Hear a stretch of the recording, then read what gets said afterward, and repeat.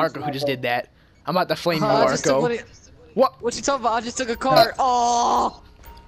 Uh, what? There's a beeping beeper right here. Hold on. Here, I'll blow it up.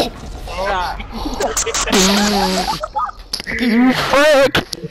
Oh oh my my god. This dude